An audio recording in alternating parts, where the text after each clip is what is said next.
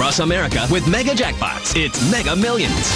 Hello, America. I'm John Crow. It's Tuesday, April 21st, and tonight's Mega Millions jackpot is an estimated annuitized $65 million. To win that jackpot, you must match these five white balls plus that gold mega ball. Now, let's see if I can make you a millionaire tonight.